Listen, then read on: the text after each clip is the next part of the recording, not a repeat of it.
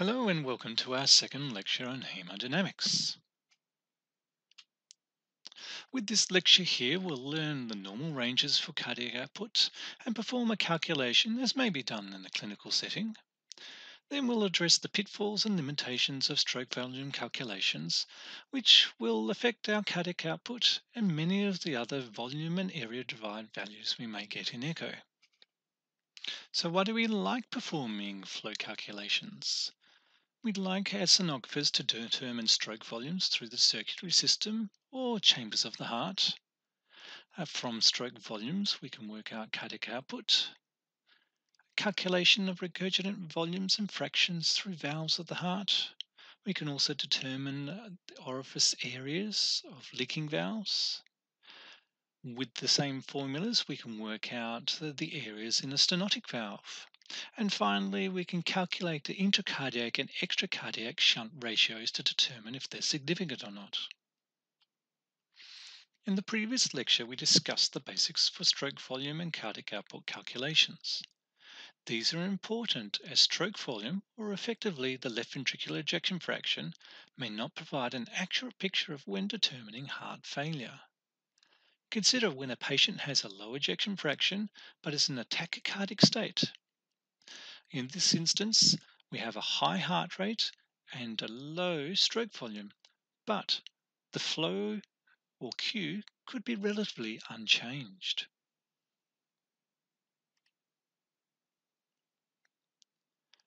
Cardiac output at rest is typically about 5 litres per minute.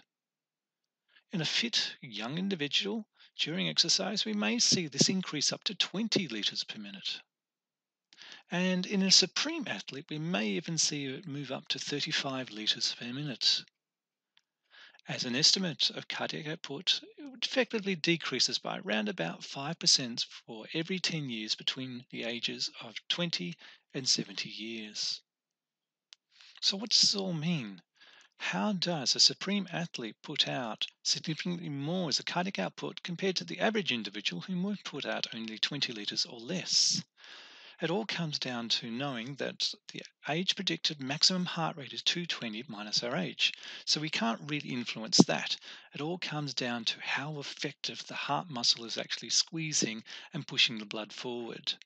So basically, they can put out more with each stroke volume, which means they have a greater cardiac reserve.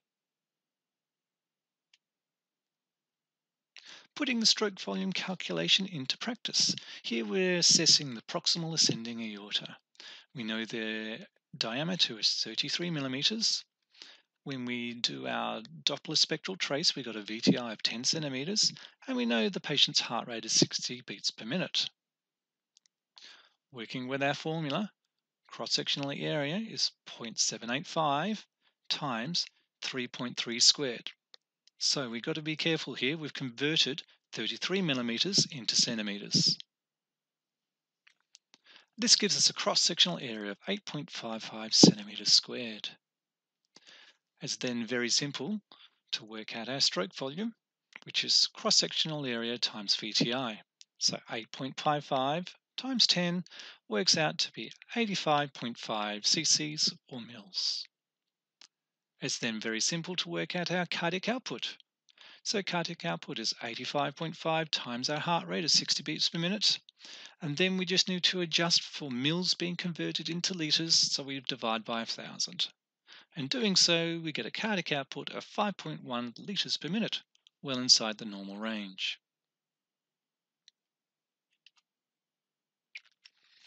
When we do our stroke volume calculations, there are many assumptions, limitations, and considerations that we need to apply.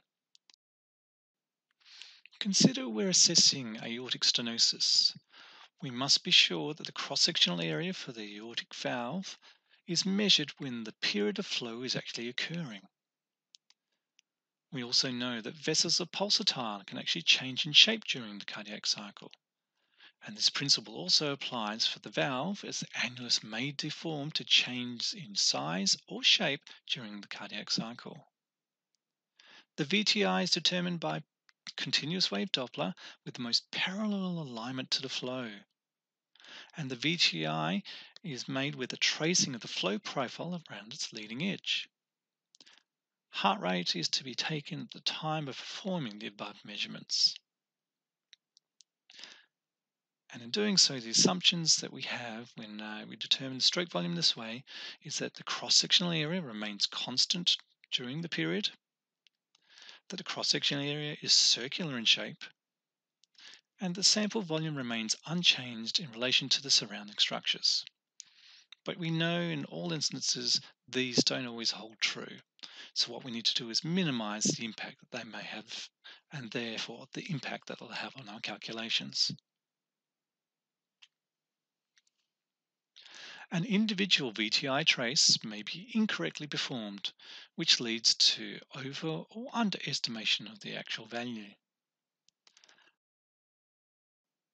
The patient may have sinus arrhythmia with slight beat to beat variability. To minimize the effect of this, multiple VTIs for the one point of interest should be obtained. The average study should have three VTIs performed. And that's why it's appropriate to have your right sweep speed, in this instance it's 75 millimeters per second, to make sure we actually get three profiles on our Doppler spectral tracing. Should the patient actually be in atrial fibrillation or have persistent, frequent ectopic beats, then an even larger number of samples should be applied, maybe even up to eight. And this would obtain a much more accurate representation of what we need to do.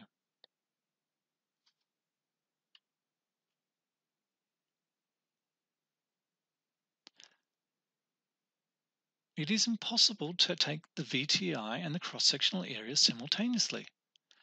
And the heart rate could actually vary between each point. And we can see that in this instance here. A VTI has been performed, and the patient had a heart rate of 76 beats per minute.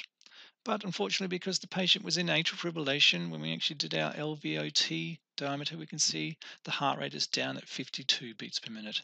And again, this raises the importance of actually doing averages to try and minimize the effects.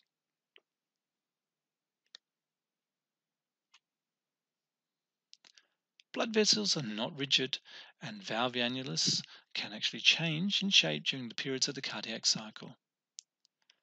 Now, another important feature is that the LV outflow tract and right ventricular outflow tract are actually a little bit more ovoid in shape.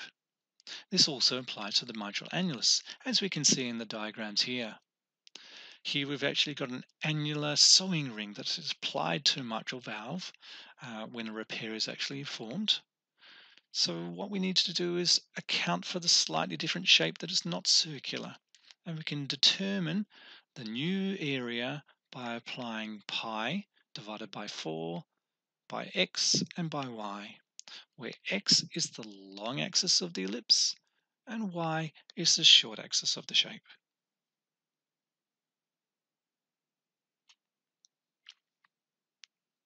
It is essential to obtain parallel alignment with the flow. Any angle where we're not extremely parallel with our flow introduces error and will lead to underestimation of the actual VTI. Additionally, the correct method for tracing the VTI must be used.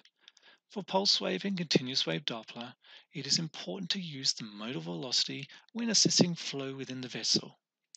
This is the outer edge of the bright line obtained within the spectral trace. The bright edge demonstrates the majority of blood cells moving at the same velocity, and this is what we want to capture. Measuring the outer and less dense signals captures higher velocities but are only representative of a smaller amount of blood cells. This is used when assessing stenotic valves, where we trace the outer edge of the profile to obtain the largest and most representative VTI. Here we can see the sonographer has actually done a tracing of a VTI, but has done it inexpertly there. We can see we've started off tracing the modal velocity and then we actually start to moving the external edge and we even move away from the external edge in a few of the places there. So not a uh, optimal VTI. Machine settings are also important. If the gain is set too high or too low, the signal may be difficult to view and trace. And we can see that in our second set of views here. this would be very difficult to determine what the modal velocity was if that's what we wanted to actually trace. Additionally, filter settings are quite important, particularly when assessing low velocities. If the filter is too high, there is a large black band that appears on either side of the Doppler baseline. And this may actually obscure what the user actually needs to trace or makes it very difficult to actually bring the trace back down towards the baseline. Errors can occur with the cross-sectional area measurement itself. The sonographer should always apply a read zoom box over the area of interest to maximize the viewing space and improve accuracy with the placement of the measurement calipers. If measuring the LVOT with a heavily calcified aortic valve, it may be difficult to determine where to place the calipers, as in this instance here. Should it be placed here as the leaflet insertion point, or is it here? And then down posteriorly, is it here, here, or here, where we actually need to make our placements? The true diameter may not be obtained in the view and lead to underestimation of the actual cross-sectional area, or in some instances we can actually lead to an overestimation if we go way beyond where we need to be. An important thing to do is to actually scroll through your image backwards and forwards, and that way it may give you a, better instance of where you actually need to place it rather than just try and work on the still image alone. The user may also make the measurement in the wrong part of the cardiac cycle and thus obtain the incorrect diameter. And it's always important to measure at the timing of the flow, such as in mid-systole when measuring LVOT flow for aortic stenosis.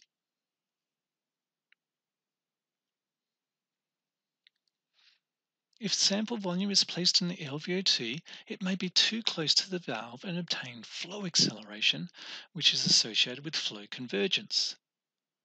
Thus, the flow profile may be incorrectly obtained. You can imagine a raft moving along a river that approaches a waterfall, and as the raft gets close to where the waterfall actually is, the water starts to speed up. And exactly the same sort of is happening here, but on a much tighter scale. This brings up the conundrum that many sonographers actually query. Why do I measure my LVOT diameter at the leaflet insertion point, but actually measure away from the valve? Simply, this is to improve reproducibility and reduce interoperator variability. There are no landmarks to make placements of measurements when you move away from the leaflet insertion points, and thus the placement of calipers is relatively difficult. Additionally, velocities in the LVOT do not vary significantly in the small area unless you move too far away from the valve and actually start to move into the basal LV level. A sonographer measuring the mitral valve stroke volume must always place the pulse wave sample volume at the annulus level and not at the leaflet tips. And this is a common error that many junior sonographers actually make. Sample volumes may also move from the position, or the heart may move and the zone for volume remains in the same place. Consider that the mitral valve annulus descends towards the apex in systole so in systole, do we not only get a circumferential contraction that moves inwards, but we also have this longitudinal contraction where the base of the heart moves towards the apex. So our sample volume, if was placed here in systole, the heart has actually moved on and now we're actually in the left atrium.